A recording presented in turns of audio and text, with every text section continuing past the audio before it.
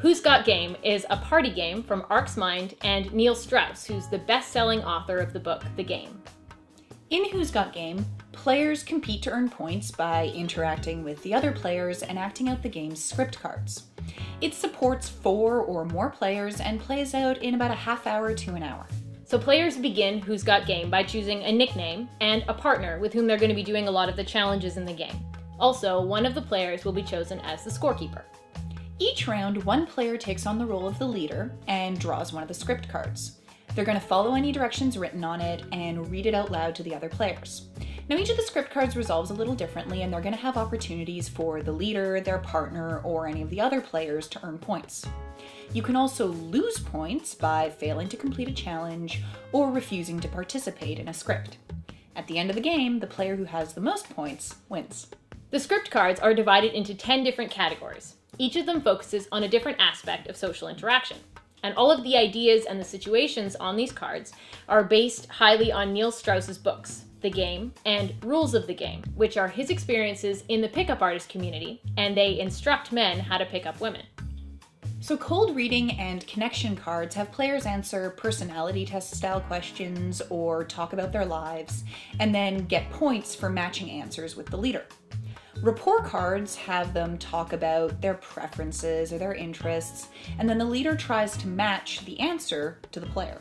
Demonstration of higher value cards have the leader reading other people's handwriting, their palms, or reading body language in order to earn points. Social intelligence cards test different players' knowledge of relationship or sexual trivia by asking true or false questions. Storytelling cards have players either silently act out an assigned situation or tell an entertaining story. Kino cards are physical challenges that can range from silly games to trying to provoke a particular reaction in another player. And conspiracy cards are going to reward you for working very closely with your partner. The last two categories of cards are a little bit different. There are secret cards, which give players secret objectives that are resolved at a later point in the game. And then there are neg cards, which allow you to take points away from other players.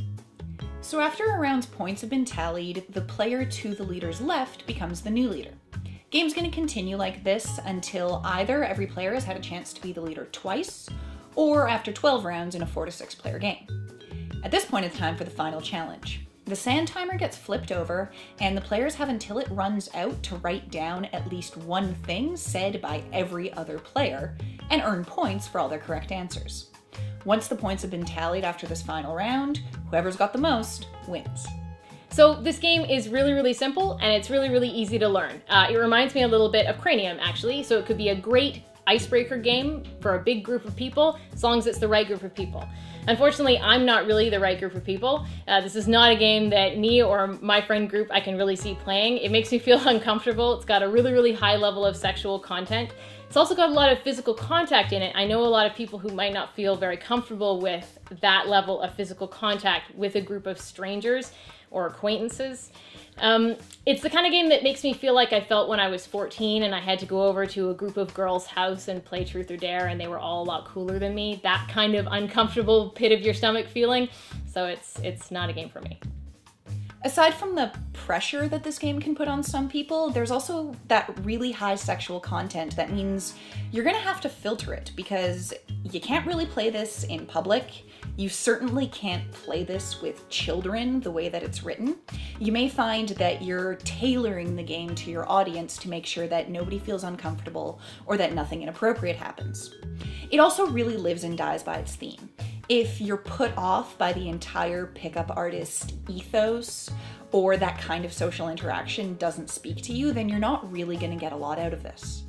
On the other hand, if you've read Neil Strauss's stuff, if you're a fan of his work, if you do find the pickup artist scene interesting, if you want to find out more about any of that, it's a really great continuation of the stuff that he's already got out there, and you're going to find it interesting and engaging and delivered in a fun new way. It's also really customizable. There's a huge amount of cards. The way they're divided into decks makes it easy to pick and choose how you're going to set up your game and to tailor it to your audience. It also means there's a massive amount of replay value. You only use about a dozen cards every time you play, and there's a huge amount in this game. So if you like it, you can play it over and over without ever getting bored.